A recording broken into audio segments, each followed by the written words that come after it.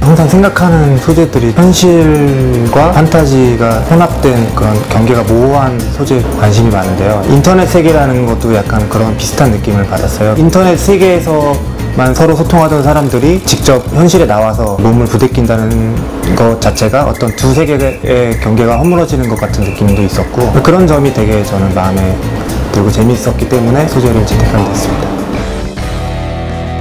주변을 조금만 둘러보면 흔하게 일어나고 있는 일들인데 한 번도 영화에서 다뤄진 적이 없었고 가상 세계에만 숨어있던 잉여들이 현실이라는 링 위로 올라오기를 원했습니다.